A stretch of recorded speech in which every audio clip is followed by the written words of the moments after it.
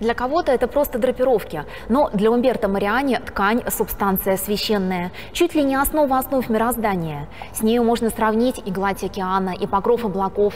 Ткань сопровождает человека с рождения до смерти, и в истории искусства, по мнению художника, играет очень важную роль.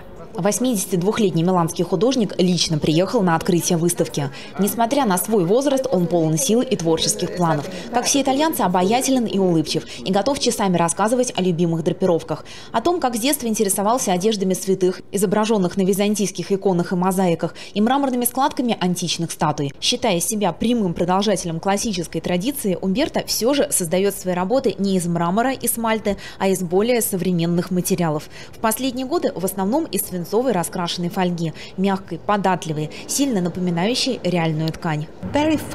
Он ближе к русскому искусству, к русскому авангарду, к тому, что делал Кандинский. Его абстракции можно сравнить и с иконами. Как иконы они изображают не реальность, а то, что за реальностью, что-то невидимое. Про художественное достоинство работ Мариани и его роль в современном искусстве можно спорить. Но одно очевидно – художник сильно интригует. Особо впечатлительные в его драпировках даже видят ни много ни мало аллюзии на главные христианские святыни – Ризу Господню, Туринскую плащаницу или, к примеру, плац Святой Вероники.